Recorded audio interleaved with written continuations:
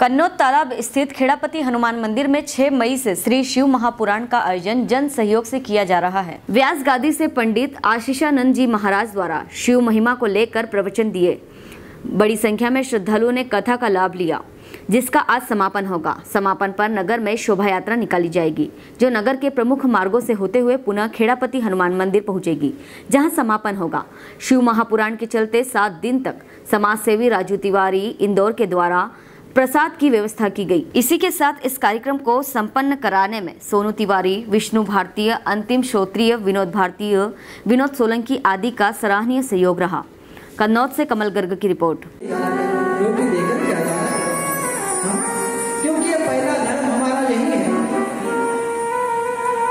अलग अलग भगवान की पूजन करने से अच्छा है कि एक की पूजन कर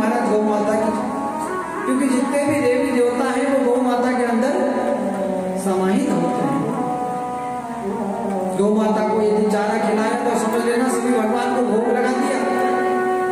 गौ माता को पानी पिला दिया तो समझ लेना, जितने भी भगवान है सबको हमने जल पिला दिया। पूजन करो महाराज पाठ करो गौ माता की सेवा करो। घर में माला लेकर के बैठ जाओ। बालकों को भी बिठा दो अच्छे संस्कार दो महाराज। हाँ? संस्कार बचपन में जो महाराज। इसलिए कहा है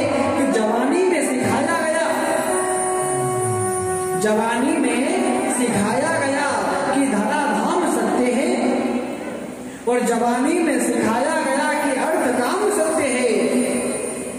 और जब पिंजरे से उड़ गया पंछी तो फिर कहा राम नाम सत्य है। राम नाम सत्य है। हेलो फ्रेंड्स आप देख रहे हैं हमारा channel S W twenty four news हमारे सारे वीडियो सबसे पहले देखने के लिए आप हमारे चैनल को सब्सक्राइब करें और पास में लगे बेल आइकोन को दबाना बिल्कुल भी ना भूलें।